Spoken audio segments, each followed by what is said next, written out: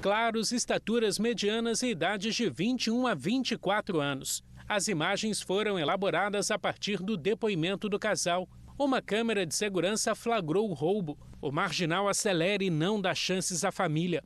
A grávida cai no asfalto.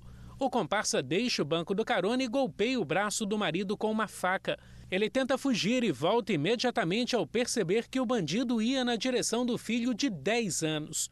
O marido, a mulher e a criança caminhavam pela rua quando foram surpreendidos com o um atropelamento. Eles não foram só para me assaltar, eles vieram para matar a gente. Cara, eu tô te entregando tudo, não precisa disso, toma, toma. Eu pego meu telefone e jogo para cima dele. Minha esposa continua deitada, sentada no chão, em estado de choque e o, o motorista continua pedindo as coisas dela. Eu quero a bolsa, eu quero a bolsa, eu vou te matar. Os bandidos fugiram levando uma carteira e uma bolsa.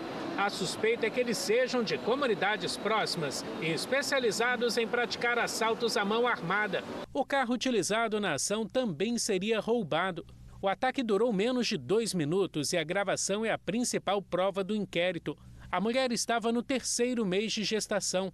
Os exames médicos comprovaram que o bebê, que se chamaria Arthur, morreu porque o coração dele parou de bater. Fizemos um exame de sangue para saber o sexo, descobrimos que era um menino e já estávamos no processo de montagem de quarto e tudo. É triste olhar as roupinhas, tudo. Além de assaltos, bandidos responderão pelo crime de aborto. Eles podem pegar quase 30 anos de prisão. Qualquer informação sobre a dupla deve ser encaminhada para o Disque Denúncia o anonimato é garantido.